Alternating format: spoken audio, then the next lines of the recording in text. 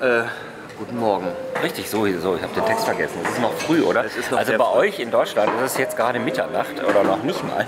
Es müsste so halb zwölf sein. Hier ist es halb sieben. Wir machen uns gleich auf den Weg äh, zum Hotel, äh, Quatsch, vom Hotel zum, ihr merkt, wir sind noch nicht ganz wach, vom Hotel zum äh, Kongress. Und ihr seht, wir sind nicht die einzigen Deutschen, die um diese unchristliche Uhrzeit schon wach sind. Denn heute wird Willi Auerbach im Wettbewerb auftreten und zwar als erster direkt um 8.30 Uhr. Und deswegen sind ganz viele schon früh aufgestanden. Freut ihr euch denn darauf, dass der. Ah, die hören uns gar nicht. Aber ihr freut euch doch, dass der Willi heute auftritt, oder? Wollt ihr dem Willi noch irgendwas sagen vor dem Auftritt? Toi, toi, toi. Und dem dann denken, es rappelt im Karton. Ja, das ist kein Zeitraffer. Nein, so sieht das aus, wenn in äh, Busan beim Zauberkongress die Türen aufgemacht werden und die Leute in den Saal strömen. Der füllt sich jetzt bis zum Rande. Und danach waren wir bei Jochen Stelter. Genau, und zwar erstmal Backstage hier, Jochen mit seinen Bällen, also mit seinen Luftballons. Und äh, genau, hier am Anfang werden so Fotos gezeigt. Das hier ist unser Arbeitsplatz von hinten. Und nach der Show haben wir mit Jochen gesprochen. Ja, Jochen, dein Auftritt war gerade. Hat es dir Spaß gemacht? Ja, mir hat es auf jeden Fall Spaß gemacht. Ja, Ja, ich meine immer, ich hätte Harpe Kerkeling vor mir, wenn ich Jochen sehe. Okay, Jochen, du hast da noch eine tolle Box auf der Bühne stehen. Ja. Wofür war die denn? War exklusiv für dieses Video. Das wollte ich quasi für das Video hier in eurer Facebook-Gruppe äh, exklusiv halten.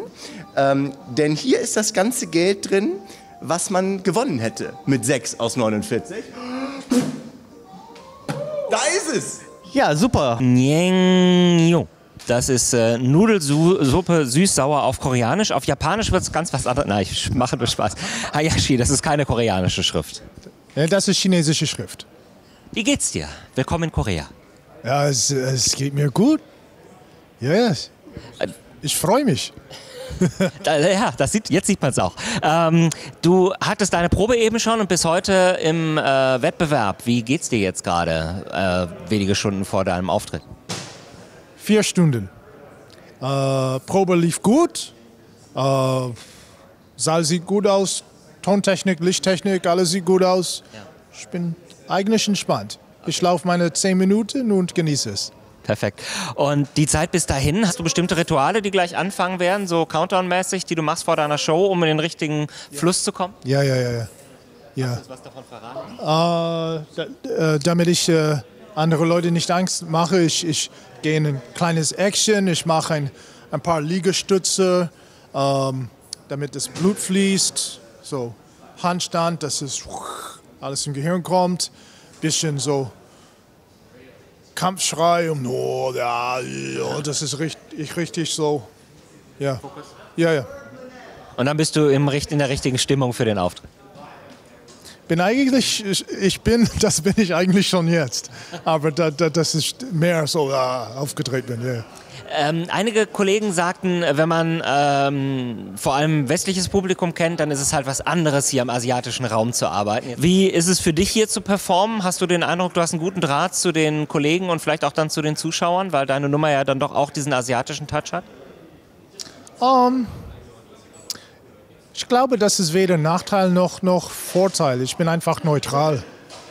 Ich glaube, ich bin für alle Koreaner, Chinesen, Japaner hier der, der, der Kanadier, Schrägslash Amerikaner aus Deutschland. Irgendwie, ja. Also du bist alles und nichts richtig. Genau. Tja, aber für die Zuschauer war er dann doch alles genau richtig. äh, Und zwar vor allem hier der zaubernde Karateka, der auch äh, kämpfen kann, wie man hier sieht.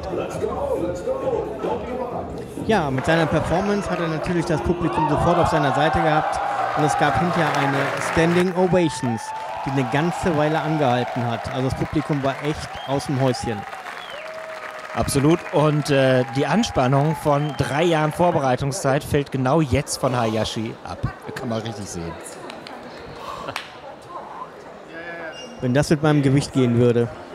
Und noch jemand war heute im Wettbewerb, Alfonso Rituerto. Ich war seit langem nicht so, nicht so aufgeregt. Ähm, es lief gut, aber gleichzeitig war ich nicht so, naja, nicht so wirklich dabei. Also du hast kein gutes Gefühl danach gehabt. Nee, ich war wirklich, ich musste ein bisschen allein sein. Ich habe versucht, andere, andere Acts zu sehen. Und das war mir nicht so wirklich möglich. Ich hatte so im Kopf wie, ah, ah, diese ne, Gedanken die, oder Bilder, die in meinem Kopf plötzlich aufgetaucht sind von Sachen, die ich nicht gemocht habe.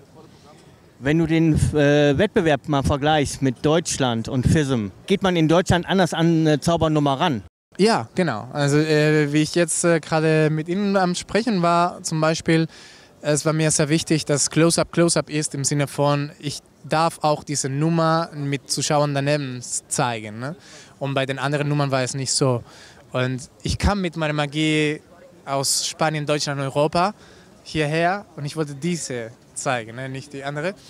Und ich glaube, das ist eine sehr gute Entscheidung, aber es war schwierig, weil natürlich du, du hörst bei den anderen diese wow! und manchmal kriegst du das auch, aber nicht so oft. Und es ist wie, habe ich mich geirrt? Oder sind wir einfach anders? Ähm, ja, sonst, keine Ahnung, ich, äh, ich habe nichts zu meckern, äh, tatsächlich. Ja, Mrs. Elastic war auch auf dem Zauberkongress. Ich weiß zwar nicht, was die da gesucht hat. Hier finden die Close-Up-Wettbewerbe statt in diesem Raum und wir nehmen euch jetzt einfach mal mit auf den Weg, den wir hier täglich so 35 Mal gehen gefühlt äh, und äh, der uns durch drei Klimazonen führt. Hier ist so die gemäßigte Zone, hier ist ganz angenehm, ne? ist weder zu heiß noch zu kalt. Jetzt kommen wir nach draußen und äh, jetzt kriegt man so den ersten Schlag an den Kopf. Man meint so ein bisschen, man hätte vergessen, sich nach dem Duschen abzutrocknen. Ne? Es sind irgendwie gefühlte 35 Grad, sind wahrscheinlich sogar faktische 35 Grad, noch gefühlt noch mal ein bisschen mehr. Und äh, vor allem irgendwie, keine Ahnung, über 90 Prozent Luftfeuchtigkeit. Also es ist schon äh, knacke warm und, und gut hell. Aber man sollte sich an die Hitze gar nicht zu sehr gewöhnen. Äh, Ganz im Gegenteil, wir genießen die eigentlich und versuchen so ein bisschen davon mitzunehmen. Denn gleich kommen wir hier in die, äh, aus der tropischen in die arktische Zone, sobald wir gleich hier wieder reingehen. Wir laufen mal ein bisschen vorwärts, damit ihr das seht. Also so sieht es hier aus. Äh, Das zweite Gebäude. Äh, In dem Gebäude, aus dem wir gerade kommen, da ist äh, neben dem Close-Up-Wettbewerb auch der Seminarraum und da sind die, äh, ist die Händlermesse und so weiter und so fort. Und wir gehen jetzt hier also an einem Café vorbei, wo es Wir Kaffee sind gibt. noch nicht drinnen und hier ist schon kalt. Ja, genau, die kühlen schon bis draußen. An diesem Café kriegt man für das Geld, wofür man hier sonst auch ein schönes Mittagessen bekommt, fast schon einen kleinen Kaffee. Ist aber ganz lecker, muss man ja, muss man ja sagen. So, und hier durch diese hohle Gasse müssen wir dann hinter die Bühne.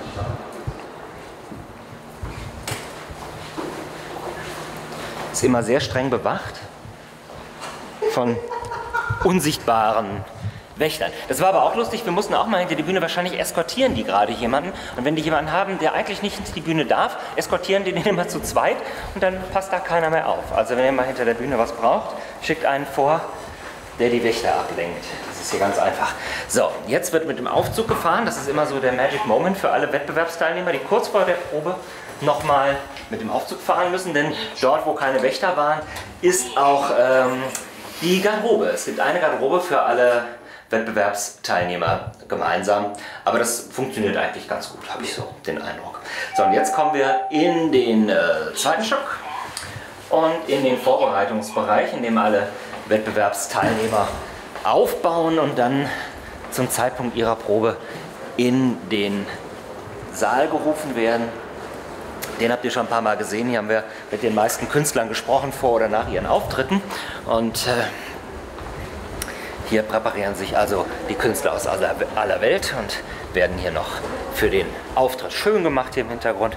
Das zeigen wir aus Diskretionsgründen mal nicht allzu deutlich. Aber hier gibt es also für jeden äh, Teilnehmer einen Tisch, markiert mit der entsprechenden Startnummer. Und dann gibt es ähm, die Helfer, die die Zuschauer, äh, die, nein, die, die Teilnehmer zum richtigen Zeitpunkt auf die Bühne bringen. Und da gehen wir jetzt hin und da müssen wir leise sein.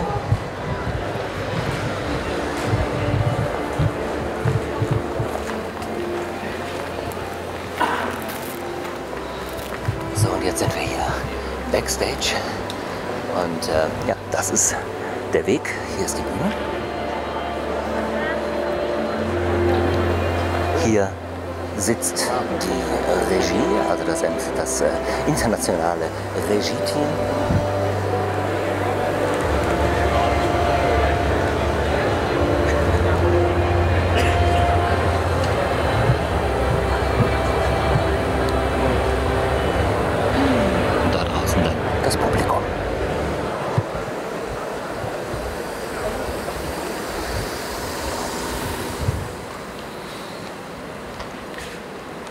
Eine kleine Feinheit. Wir haben hier gefühlte 16, 17, 18 Grad maximal, also echt kalt hier. Äh, Das Gute ist aber, die Dame, die für den Vorhang zuständig ist, ja, die hat hier eine Heizung stehen. Man soll es nicht glauben. Die hat ein riesen Gebläse dort und dort wird geheizt. Der ganze Raum ist runtertemperiert und da wird er aufgewärmt. Naja, wer hat, der hat. Ja, und äh, zwischendurch hat Stefan dann angepackt. Das ist der Aufbau der Nummer von Patrick Lehnen. Der hat von uns so eine Art Kindersitz bekommen, weil alle Stühle hier so koreanische Höhe haben und dementsprechend doch ziemlich niedrig sind. Und äh, den Meister selber haben wir bei der Arbeit nicht gefilmt, aber dieses Foto konnten wir von einem Paparazzi vor Ort erhaschen. Präpariert hier also seinen Tisch. Und danach haben wir mit den Zaubertricksern gesprochen. Die haben mit uns eine Podcast-Folge vom Trickverrat aufgenommen und dabei auch aus dem Nähkästchen geplaudert und von ihren Erfahrungen mit uns als Regie-Team aus Rimini. Ich hatte das, äh, wenn ich mich daran erinnere, aus zweierlei Hinsicht äh, beeindruckt und ist mir in Erinnerung geblieben, weil einerseits waren da Gesichter, die ich von zu Hause kannte. Das ist natürlich ein riesiger Vorteil, wenn du da nicht nur deinen, ich sag mal jetzt in dem Fall die, die Leute, die mit auf der Bühne stehen, siehst als bekannte Gesichter, sondern auch Leute, die Backstage sich auskennen. Das gibt es demnächst als Podcast zum Hören und natürlich auch zum Sehen als extra Special Video. Das müssen wir euch noch kurz erzählen. Ähm, ab und zu, wie jetzt beim Schnitt, kommt es hier mal vor, dass plötzlich alle gleichzeitig zu ihrem Handy greifen. Also, dass Leute ständig ihr Handy in der Hand haben, ist hier nicht ungewöhnlich. Aber dass sie das alle gleichzeitig tun, weil diese Handys ziemlich laut piepsen plötzlich, das ist schon was Besonderes.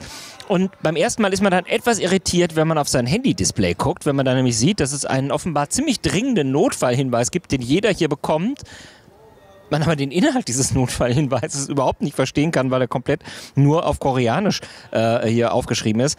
In diesem speziellen Fall drohte uns keine, allerdings keine unmittelbare Gefahr, denn es gab wohl offenbar einen kleinen Erdrutsch, ein sogenanntes Sinkhole. Das passiert ja wohl öfter mal, dass die Erde einfach sich auftut. Allerdings auf der Straße nach Seoul, äh, Seoul. also äh, für uns nicht direkt eine Gefahr. Trotzdem beim ersten Mal, wenn äh, man mitbekommt, dass alle Handys plötzlich ganz laut so einen Sirenenton wiedergeben und alle diesen Notfallhinweis anzeigen und alle wie wild durcheinander reden, kriegt man schon kurz so ein bisschen Gedanken, aber also in dem Fall alles gut, aber für euch vielleicht auch eine interessante Info, was einem hier sonst so begegnet. Wollen wir uns irgendwas zurechtlegen und überlegen, was wir sagen, oder machen wir es wie immer? Wie eigentlich wie immer, oder? Sonst klingt so gekünstelt. Okay, dann wie immer. Ja. Lächeln? Kling, kling. Guten Abend hier aus Busan. Ja, die meisten Wettbewerbe für heute sind fertig. Wir haben jetzt quasi Feierabend. Jetzt gerade fängt die Abendgala an. Die schenken wir uns, weil Wir haben wir ja Feierabend. Wir haben ja Feierabend. genau. Wir müssen nämlich leider diesen Film noch fertig machen und wollten heute mal ein bisschen vor 2 Uhr ins Bett. Für euch die gute Nachricht wahrscheinlich, wenn alles gut klappt, ist das Video auch viel früher online als sonst. Ihr seid also vielleicht äh, schon überrascht, dass ihr uns jetzt schon seht. Ja. Wir schauen gerade, was wir heute Abend essen. Wir sind mal wieder bei den Food Trucks, die hier extra für uns aufgestellt wurden. Genau, die haben wir einmal ganz kurz gezeigt, aber wir haben noch gar nicht viel davon erzählt, nicht? Also hier haben wir schon zweimal gegessen, das ist ganz lecker, ne? Da gibt es so was Scharfes mit Soße und ja, Reis. das Hähnchenfleisch entweder mit Nudeln oder mit Reis. Es ist immer ein bisschen spicy und man kann es immer noch ein bisschen schärfer und hotter haben. Ne, man muss es nur sagen. Also weniger spicy geht leider nicht, aber es geht mehr. Es geht immer mehr.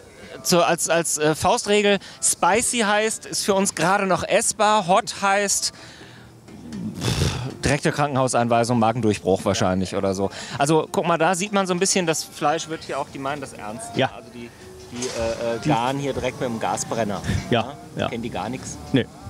Ja, Das- jetzt auch mit richtiger Flamme für die Kamera. Übrigens alle sehr kameraaffin hier, ne? Kann Ja. nichts sagen. Also Ja. schimpft keiner, wenn man sie halt nicht filmt. Nein, nein.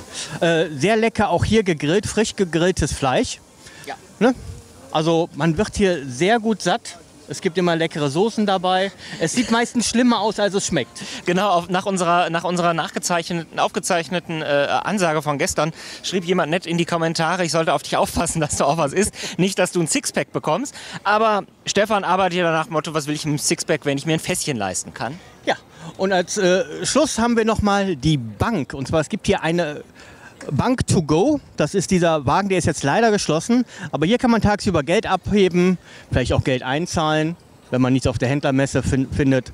Ja, und das einzig eigentlich Lustige ist, wir zeigen euch den morgen nochmal, ähm, wenn die nämlich äh, aufhaben, dann ist da so ein riesengroßer Screen und da läuft Musik und ich habe erst gedacht, das wäre irgendwie hier so Stadtmarketing oder so und die machen da richtig Party.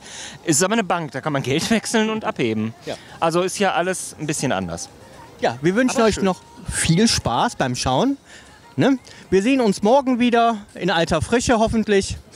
Bis dahin, ich wünsche euch noch einen schönen Abend nach Deutschland. Hier ist es immer noch flauschig warm. Ne? Man, also ihr wollt uns gut, dass es kein äh, Video gibt, wo man riechen kann. Ja, und wenn das Video heute richtig heiß ist, dann liegt es daran, dass wir es hier jetzt schneiden werden. Also, ähm, ja, lasst euch überraschen. Nein, Quatsch, wir sind ja schon am Ende. Ja. Ihr habt euch hoffentlich überraschen lassen. Wir kennen das Video noch gar nicht. Ihr an dieser Stelle ja jetzt schon. Seht ihr mal, habt ihr uns was voraus. Magie. Tschüss. Bis morgen. Achso, abonnieren nicht vergessen und Fragen für Samstag aufschreiben. Wir machen das mit der Live-Seite, ja, ja. wenn wir Fragen haben. Bis dann. Tschüss. Tschüss. Ja.